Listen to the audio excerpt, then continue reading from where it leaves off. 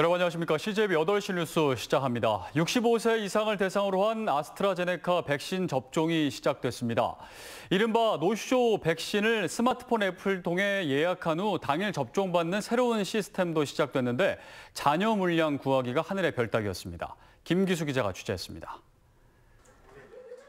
청주의 한 동네 의원입니다. 아침 일찍부터 백신 접종 예약자들로 대기실이 가득 찼습니다.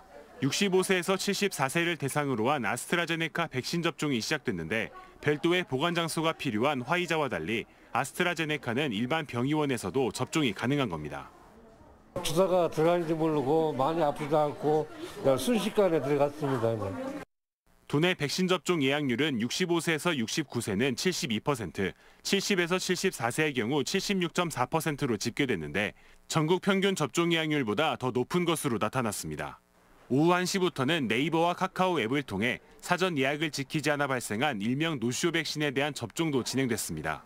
만 30세 이상 성인이라면 누구나 선착순 예약으로 당일 접종이 가능한데 기존 예약자가 대부분 접종을 받으면서 잔여 백신 물량은 손에 꼽을 정도였습니다. 핸드폰을 보고 있었어가지고 어, 한번 해봐야겠다 해서 했는데 운이 좋게 예약을 하게 됐던 것 같아요. 지역사회의 그 확산을 감소시키는 효과가 명확하다라는 게 지금 나타나고 있고요. 또 하나는 집단 면역을 확보를 해야만 여러분들이 앞으로 일상으로 회복하는 데 도움이 될 수 있습니다. 한편 정은경 질병관리청장은 청주 오송에 있는 베스티안 병원을 찾아 아스트라제네카 백신은 안전하다며 적극적인 접종을 당부했습니다. CJB 김기수입니다.